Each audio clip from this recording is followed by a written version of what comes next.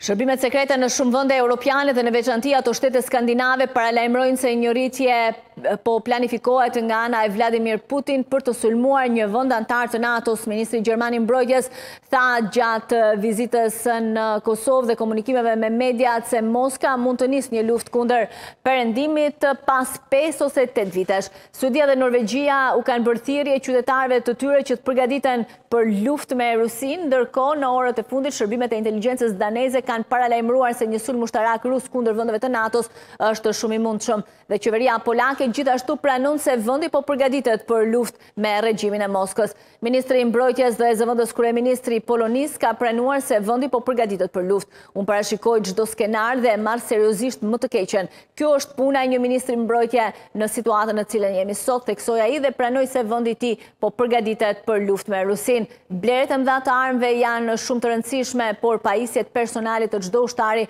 duhet të merren po aq seriozisht. Polonia do të luajë një rol shumë të rëndësishëm në mbrojtjen e përbashkët të Bashkimit Europian, Këtë e di dhe Komisioni, nënvizoi ministri polak i Mbrojtjes. Shërbimet e inteligjencës daneze sqarojnë saktësisht se çfarë po planifikon Putin, çfarë do të ketë kujdes dhe cilat operacione ruse po përgadit të nisë kundër vendeve të Aleancës së Atlantikut Veriut. Inteligjenca ushtarake daneze paralajmëron se Moska, me shumë gjasa, do të përdorë fuqinë e saj ushtarake për të sfiduar shtetet e NATO-s, tha ministri danez i Mbrojtjes në parlamentin e vendit. Ndërsa, shërbimet e inteligjencës së vendit skandinav në raportin e tyre lidhur me një sulm të mundshëm nga Moska shkruajnë, Rusia do të ushtrojë presion mbi vendet e NATO-s duke dërguar në mënyrë rutinore aeroplanë dhe anije luftarake për të thyer kufinjtë kombëtarë.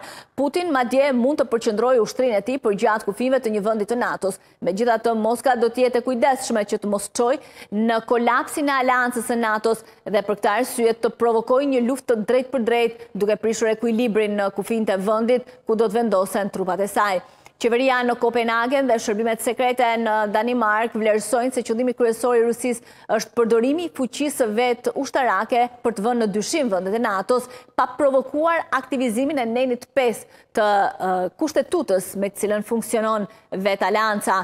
Rusia është ende e rrezikshme, gadishmëria e saj për të marrë rreziqe është rritur që kur Finlanda dhe Suedia u bashkuan me Aleancën. Ajo gjithashtu dëshiron të rrisë prezencën e forcave të saj të armatosura në rajonin e detit Baltik dhe në veriperëndim dhe nëse nuk është ende në gjendje të bëjë këtë, në afat të shkurtër theksohet në raport do ta provokojë në afat më të gjatë. Rusia do t'i imponojë NATO-s provokime ushtarake, por nuk do t'i shpallë hapur luftë një vendi të NATO-s, por kreu i ushtrisë daneze, gjenerali Ledfer, nxitoi të paralajmërojë se Rusia është sot më e fortë sesa pritej pavarësisht dy viteve të luftës në Ukrainë.